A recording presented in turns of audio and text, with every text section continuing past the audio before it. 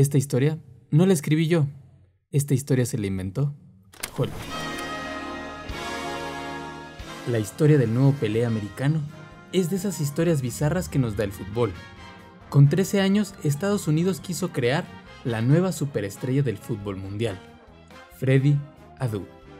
Como si de Justin Bieber se tratara, la mercadotecnia alrededor de aquel niño era mejor que la de las mejores estrellas mundiales.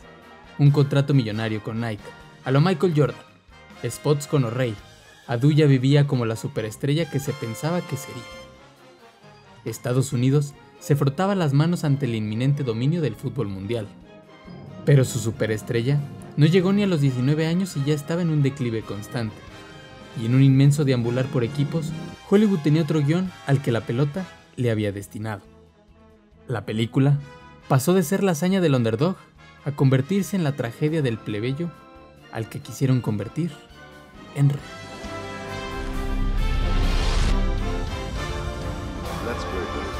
Let's go.